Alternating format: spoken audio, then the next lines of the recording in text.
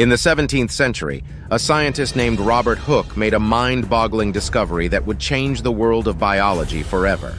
Imagine looking through a microscope for the very first time, seeing a world teeming with tiny organisms. Hooke called these tiny structures cells because they reminded him of the small rooms monks lived in. What Hooke didn't know at the time was that these cells were the building blocks of all living things. His breakthrough ignited a curiosity that would lead to major advancements in the field of biology. Scientists began unraveling the mysteries of life, understanding how cells function and replicate.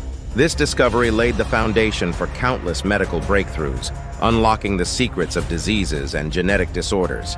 From cancer research to stem cell therapy, Hooke's microscope opened up a whole new world of understanding. So the next time you look at a tiny dot through a microscope, remember Robert Hooke and the incredible journey that started with his microscopic breakthrough